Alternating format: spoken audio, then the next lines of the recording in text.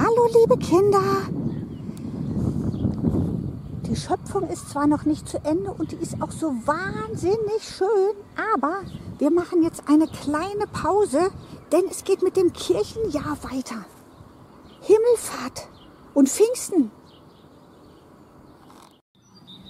Wir sind gerade dabei, die Geschichte von Himmelfahrt zu filmen.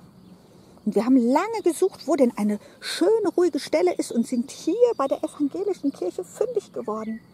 Die Vögel singen so schön und da seht ihr, sind die ganzen Jünger im Gras. Es ist ein wunderherrlicher Tag.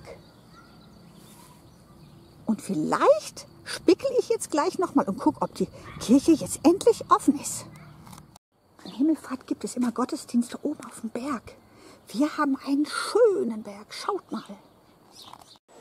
Wenn ich so aus meinem Homeoffice-Fenster rausschaue, dann sehe ich den Berg fast gar nicht mehr. Da oben ist eigentlich auch noch ein Baum. Ich glaube, den sieht man auch nicht. Heute ist ganz schön schlechtes Wetter.